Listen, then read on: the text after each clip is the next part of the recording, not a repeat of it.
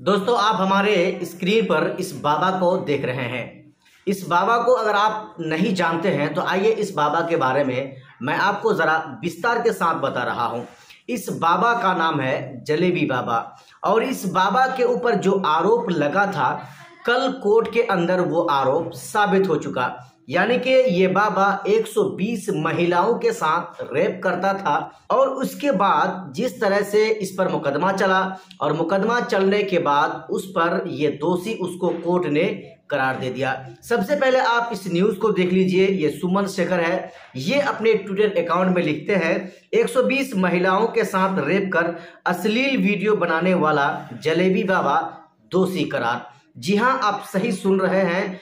बिना फजूल के, बेकार के मुसलमानों को, दीन इस्लाम को और दीन मज़हब को बदनाम करने की कोशिश हिंदुओं की तरफ़ से, भगवाधारियों की तरफ़ से किया जा रहा है। लेकिन इस वीडियो में जो सच्चाई मैं आपको दिखाने जा रहा हूँ, बेकार के दीन मुसलमानों को या मज़हब को बदनाम किया जा रहा है, दीन इस्लाम को बदनाम किया जा रहा है। लेकिन ये जलेबी बाबा जो भगवा पहनता है, भगवा कलर का ये कपड़ा पहनता है और कपड़ा पहनने के साथ साथ ये किस तरह का काम करता है, आप हमारे स्क्रीन पर देख सकते हैं। सबसे पहले मैं आपको बताऊँ कि सुमन शेखर ये भी लिखते हैं, आरोप साबित होने के बाद दुष्कर्मी बाबा कोर्ट में गिड़गिड़ाने लगा।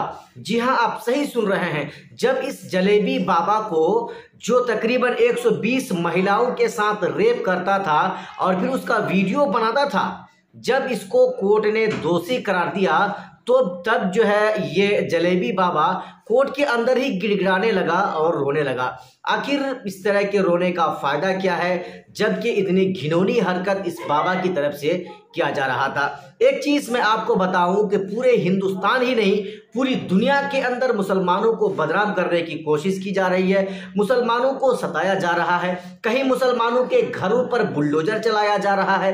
कहीं तो मुसलमानों को पकड़कर सरेआम सड़कों पर पिलर पे या खंबे पे बाँध कर पीटा जा रहा है। आखिर इस तरह का जुल्म मुसलमानों पर क्यों किया जा रहा है? हिंदुस्तान के अंदर अलग अलग राज्य की अगर मैं बात करूँ, चाहे वो राजस्थान हो, मध्य प्रदेश हो और इस तरह के चाहे उत्तर प्रदेश हो, बंगाल हो, इन तमाम जो है राज्यों में मुसलमानों पर जुल्म किया जाता है। मुसलमानों पर जुल्म के पहाड़ को ढाए जाते हैं। दोस्तों, इस खबर को सुनने के साथ साथ आपको क्या लग रहा होगा कि ये भगवा पहनने वाला, ये जो गैर कौम है, ये भगवा रंग का जो है कपड़ा पहनता है और फिर जो है वो महिलाओं के साथ रेप करके, अश्लील हरकत उनके साथ करके वीडियो बना के वायरल करना, इस चीज़ को आप किस अंदाज से देख रहे हैं? क्या ये सही कर रहा था या ये गलत कर रहा था? दोस्तों, आपको हमारे इस वीडियो के नीचे कमेंट बॉक्स में ज़रूर लिखना है।